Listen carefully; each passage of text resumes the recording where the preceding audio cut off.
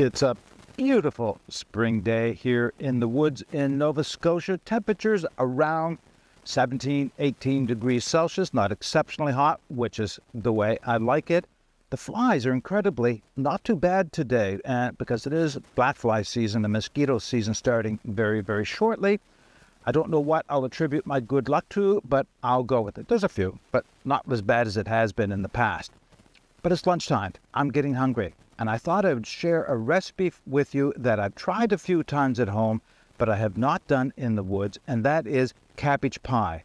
But this will be a low carb or ketogenic version of cabbage pie. If you're interested in seeing it and seeing what it looks like and tastes like, keep watching. All right, just before we move down to the ground where I have my gear set up to prepare this meal, I just want to talk about the main ingredient of this meal cabbage.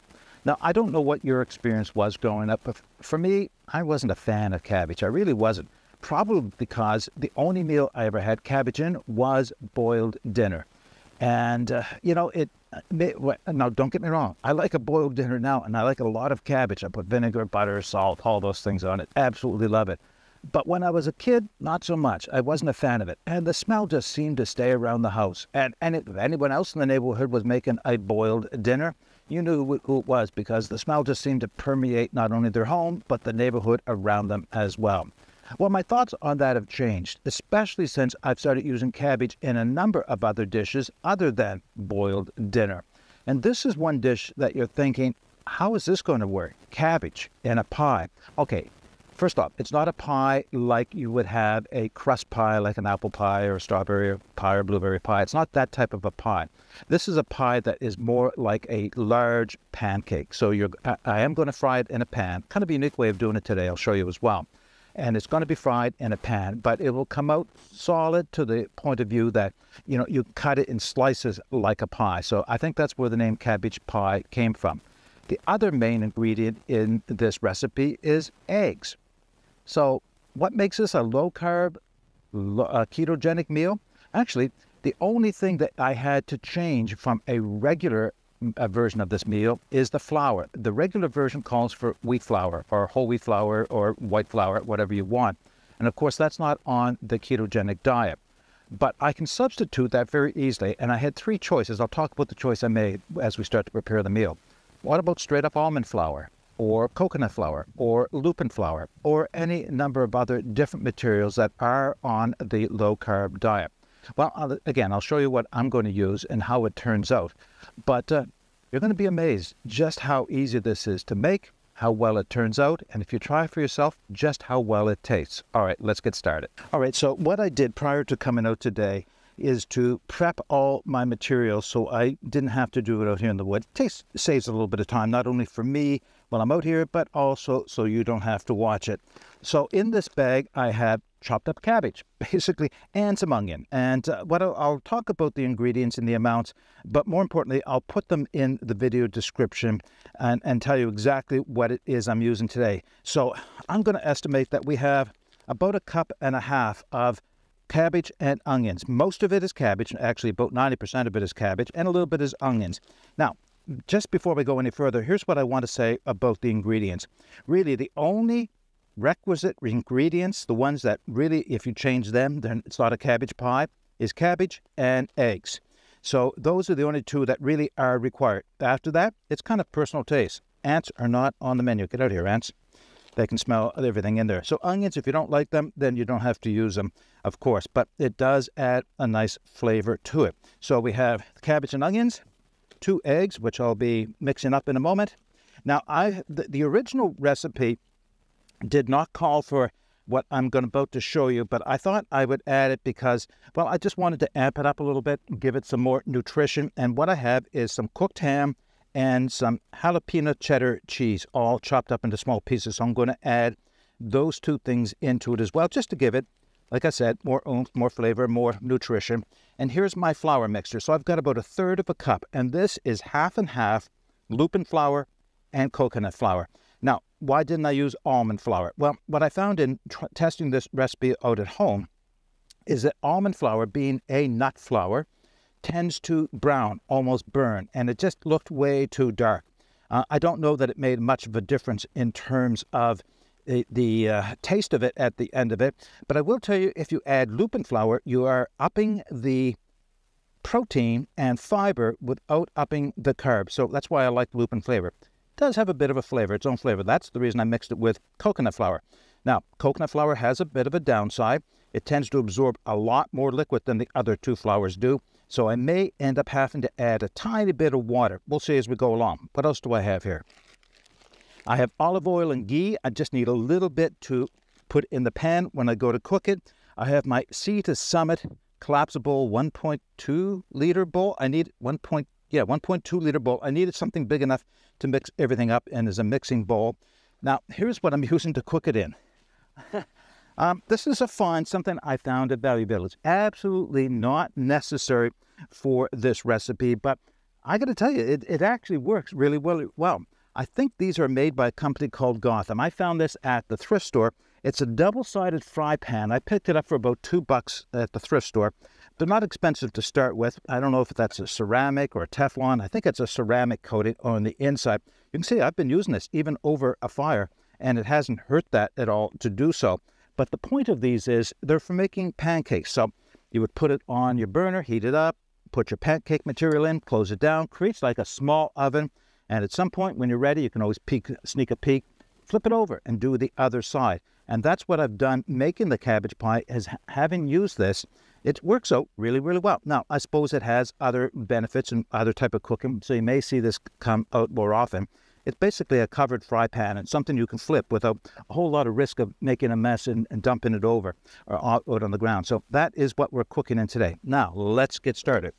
What do I need? My two eggs. Let's get those cracked and into the big bowl here. So it's one in, a recipe floating around in the wind here. Two, and I'll have those in my compost bag in a minute. Bought a little tiny whisk, really nice for bringing out in the woods. I could have used a, a, a piece of brancher for this, but you know, having something that actually designed for it really works. All right, so it's going to take me a minute to whip these up as best I can before I go on to adding the rest of the ingredients. So I'll just cut out the whipping until it's ready to add the other ingredients. All right, I, I probably spent another minute, minute and a half whipping it. Everything is well combined. Put that aside for a moment. Now comes the main star of the show, the cabbage. Whoa, onions, uh, quite strong smell. But uh, that's great. Okay. And uh, maybe I'll mix those through first. Now, they use, the cabbage will shrink down in size uh, as you cook it, so it's not going to be that big a meal. But you can see why I had to start out with a larger pot, collapsible pot, to mix this all up with. Put my flour in. Again, about one third of a cup. And this is where I'm going to know whether or not I need to add liquid because of the coconut flour in here. So far, so good. Yeah, I don't know. Starting to get pretty thick, isn't it? I think I'll just put a tiny bit. And what I'm putting in now is about two tablespoons of water. If you don't use coconut flour, you should not have to add the extra liquid that I'm doing right now. But coconut flour has that nasty habit of absorbing all the liquids. And sometimes that's what you want when you're putting a recipe together. You just have to allow for it. All right, I think I've got most of the flour incorporated. Mixed around, that's looking pretty good. Time to add in the ham and cheese. Get out. Everybody else, There we go. Oh, almost lost that one. Oh, probably a good time to put in some spices. Now, where is my little spice bag? It's right here somewhere. There it is. Spices are your choice. Right off the top, salt. Sea salt. Not a specific amount. To taste. That's the way to do this type of cooking. Garlic powder. I was going to chop up a clove of garlic, but I decided just to go with powdered garlic. Again, to taste. What have I got here? That's a hot sauce. Oh, here we go. Tex-Mex.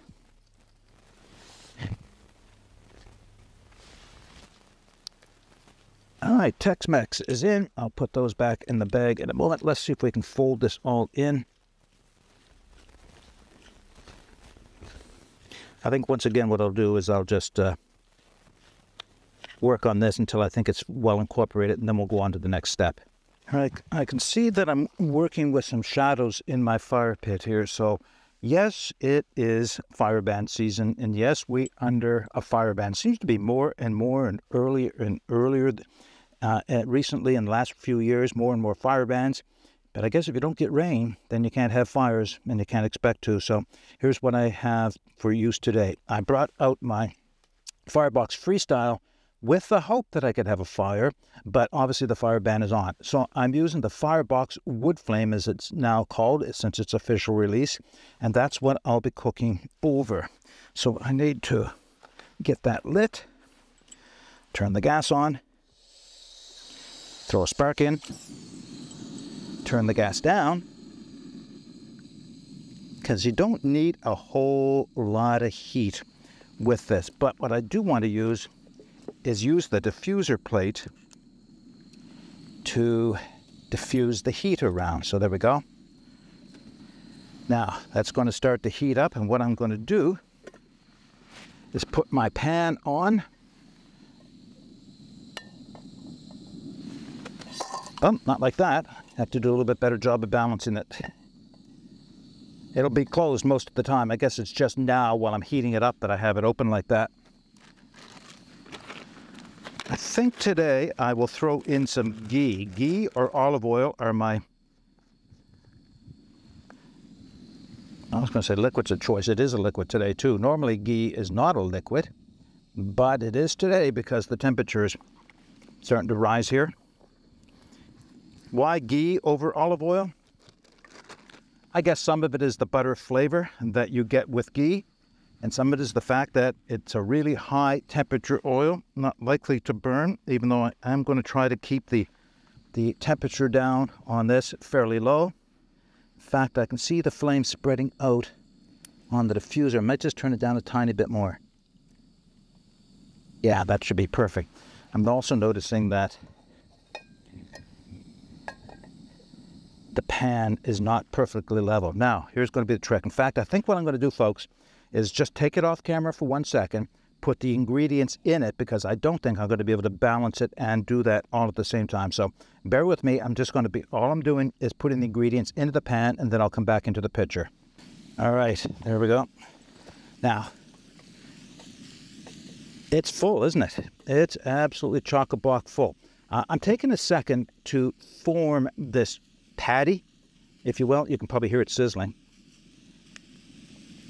And the reason I'm doing this is just makes it a little easier to flip.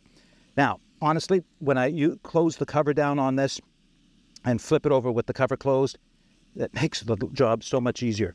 But if you do this in any other fry pan, and by the way, you do have to kind of cook it covered, create some type of a mini oven doing this. Uh, if you do this with any other pan, you're going to want, wish you had formed it like that so you can get your flipper underneath it. All right, basically, that's all there is to it. Close that down. Now, having not cooked this outdoors, I'm not exactly sure how long it's going to take, but at home, it took me about five minutes to brown it up on the bottom, and then I flipped it over. It was primarily cooked at that point, so I flipped it over and gave it another two or three minutes but at that point, you should be able to open it up and get a bit of a judge on how it's going. All right, I'll bring you back in a few minutes' time when it's time to flip it. You know, I didn't judge the time on this, but I'm thinking five minutes. All right, it looks like the edges are browning. Oh yeah, see the whole thing is moving inside of the pan. Excellent. Excellent. The reason I chose to use this pan is because this is the challenging part. If you don't have a pan like this, and you have just a regular fry pan, you're now going to have to put a plate or something on top, flip the whole thing upside down onto the plate, and then slide it back into your pan. That's the reason I chose this. Maybe I'm lazy or just afraid I'm going to lose my lunch, but how easy was that? How easy was that? Oh my goodness, look at that. Can you see that? I hope you can. One little bit of cheese probably stuck a little bit of it to the top of the pan here, which was the bottom of the pan. But all I have to do now is just give it a couple more minutes to brown up on the other side. and then we're ready for the taste test. I wish you could smell this. Man, this is beautiful. Oh, what am I going to do here? Okay, so yes, a little tiny bit. Oh, it just popped right off anyway. A little tiny bit of it, the pie did stick when on the that's the original side, the side that I had down towards the heat first. So it did stick a little bit, likely because of the cheese, because it does have a tendency to stick. Interesting, it actually stuck to the rivet where the handle is riveted on. Now, how am I going to get? The, oh, first off, let's flip it over. So this is the second side that came to the heat. Look at that. Wow, just lightly browned. And that's my, been my experiences. The first side, the side you leave on the longest, is going to be the darker of the two sides. And, uh, oh, yeah, yeah, yeah. Uh, let's see. I could, probably could have let it go another couple of minutes, but it is done. But what I am going to do is I am going to give it two or three minutes to finish setting up, come down to an, eat, an eatable temperature, and then I'll cut a piece out and we'll do the taste test. All right, I have my bandana slash napkin. I can just put on my lap here. It's still very hot, but I went ahead and cut a section out, like you can see a triangular section cut out here. I just wanted to look inside to make sure that it was cooked enough to eat. It is, but I could have left it a little longer. I'll be full disclosure, it's not liquid, but if I had left it a little tiny bit longer, it wouldn't have browned much more and it would be just that much firmer. When you um, do this properly and give it enough time, uh, you can actually cut this into pie sections and pick them up just like you could a piece of pie and eat them like that. When it's cold, this will still do that. It'll actually, conge- not conge- congeal, uh, maybe, it'll actually harden and firm itself up so that you can pick it up and eat it by a bite. Now, that's huge, right? Could I eat all of that? Yeah, I probably could. I'm hungry enough. Should I eat all this? I'm going to eat at least half of this. Um, as you'll see when you look at the nutritional breakdown in the video description, there's not a lot of calories in here. It's a lot of fiber, it's a lot of protein, and it's a fair amount of fat, but it's not a lot of calories in total. Very low on the carbohydrates, especially when you remove the fiber and you get the net carbs. And that's with my adaptation. Even if I had used wheat flour, um, it'd still be a relatively low carb meal just the same. But of course, I, I want to reduce it right down to as low a carb as I can. All right, let's stop talking, Mark. See what we got here. Mm-hmm. Yeah, okay. It's just as good as it is when I make it at home. Okay, for, for honesty, I think I could have put more garlic, more Tex-Mex in, maybe a little something a little bit spicier. But, uh, oh yeah. Let's see if I can show you this. Probably see the steam coming off of it. And this is, like I said, about a 20 degree day now. Hmm. Oh my goodness. Yes, it's every bit as good as it was when I made it at home a couple times, but better because, of course, we made it in the woods.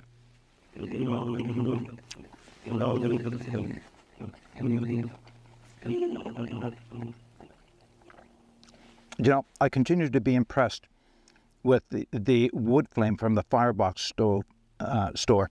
You could use any gas stove to do this, but because of that diffuser on top of this one, it makes it so that you don't get a central hot spot and get a burn. You can see it's browned nicely all over. No specific spot in the center of this has a dark burn from it. That doesn't always happen when you're using a gas stove, but the smaller the gas stove, the smaller the diameter of the burner, the more likely it is to happen. And of course, it depends on what fry pan you're using and everything. But this goes a long way to prevent that from happening. So I think it's one of those why didn't someone else think of this before? Now, diffusers have been around for a while. Uh, there's lots of makeshift diffusers made from titanium, stainless steel, ceramic, any number of things. But this one was built right into the design of the stove and works perfectly in conjunction with it. But that's not what this video is about, is it?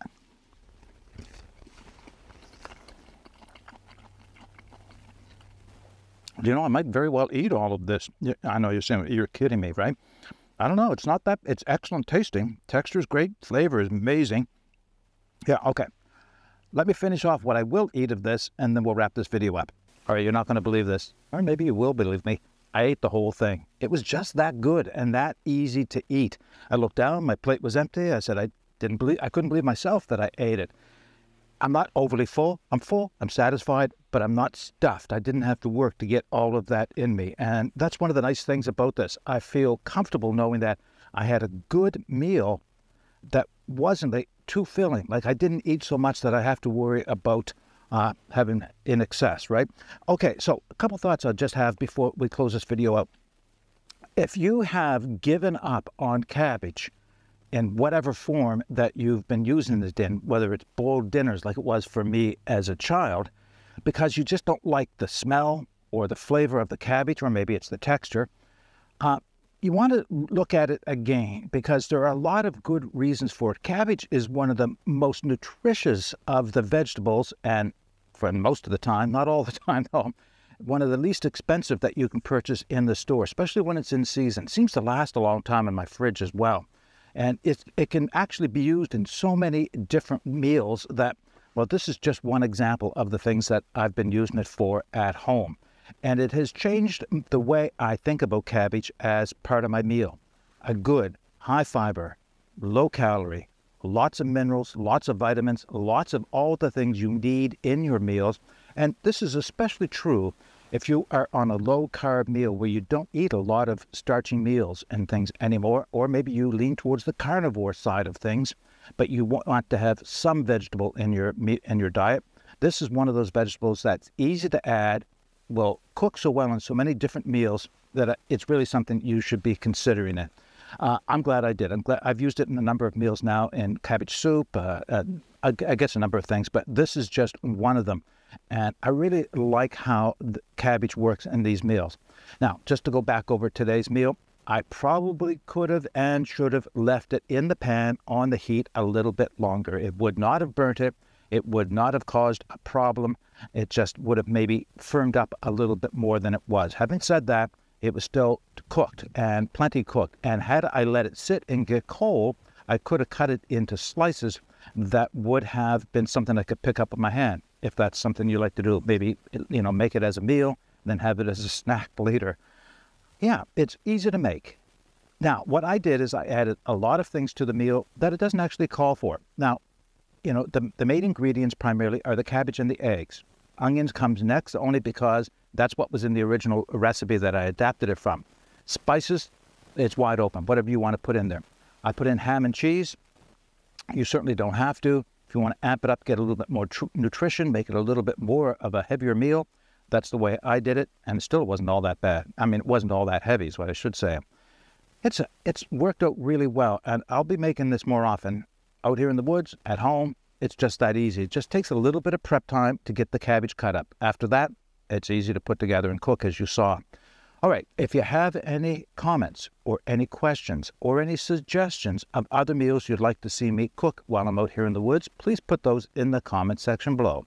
As mentioned, I will put the recipe for the meal I just made in the video description below. But until next time, get out and explore and take that path less traveled because it will make all the difference. Bye for now.